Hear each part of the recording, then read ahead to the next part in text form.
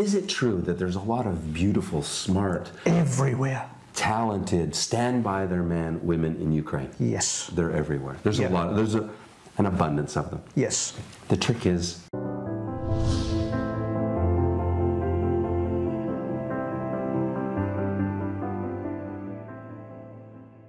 So, Alvin, we've been talking about a lot of uh, lessons learned in the trenches, in the dating trenches in Ukraine. A lot of sad stories, uh, broken heart, a little bit, uh, broken wallet, certainly. Yes. But you have a happy ending. So, please, if you could share uh, your happy ending story, Ah, yes, my happy ending.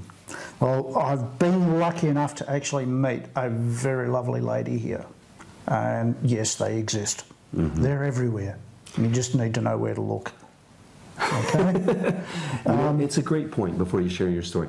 Is it true that there's a lot of beautiful, smart, everywhere. talented, stand by their man women in Ukraine? Yes. They're everywhere. There's Yeah. a lot. There's a, an abundance of them. Yes. The trick is finding them, right? No, they find you. The trick is you just need to be a little bit smart about what you're doing. Uh huh. How do you mean? Don't expect to come here and just drag the first pretty thing that you see home. It's not going to happen. You have to be genuine, you have to be real, and you have to be sincere. Mm-hmm. If you're not, they will shoot you down in flames. Mm-hmm. So you said they find you. That's got me intrigued. How do you mean? Well, that's what happened to me. She found me. That's what happened to me too. But it's funny. Mine found me on the streets of Poltava. Uh, she said hi first, um, and you know they they exist here in society in Ukraine. But the thing is, you and I live in Ukraine, so we have an abundance of opportunity, time opportunity, to find them or have them find us. Um, and, and it's totally possible, and they're here, and there's an abundance of them. We all agree with that. Uh, but what about the guy that only comes here for two weeks?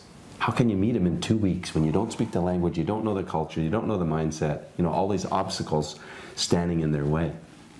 Well, that's where you've got to be a little bit smart about it. Um, trust me, people like this man, you need to talk to people like this man. Okay? Um, Well, thanks, Alvin. you, I've lived it. I've been here for 12 months, and trust me, you can't come here and expect to take somebody home in two weeks and actually get away with it. And we'll have them be a good girl. Yeah. Because good girls don't go home in a couple of weeks. No. You need to earn their trust, and that takes time. Right? The upside is, yes, you need to earn their trust. Mm-hmm. But once you have shown that you are genuine and sincere, trust me, she will open up and she will just grab you, take you. You need a seatbelt, you are in for the ride of your life. And it's been the way with me for the last six, nearly seven months now. Um, genuinely, she found me. She um, looked in the local paper, found my advert, said, I want to talk to you. And one coffee led to two coffees, led to three, and dinner, and yeah, so on and so forth.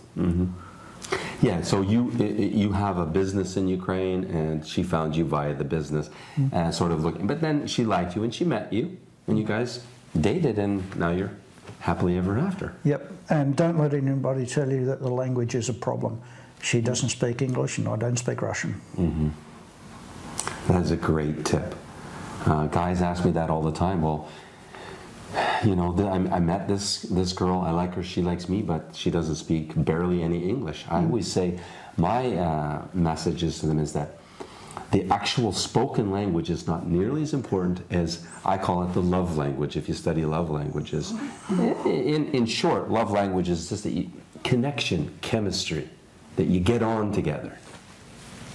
It is, and it's something that a lot of people don't understand. Um, totally another subject, but your body language, your body language would tell her much more about you than your voice will. hmm And your confidence or lack of Yes. confidence.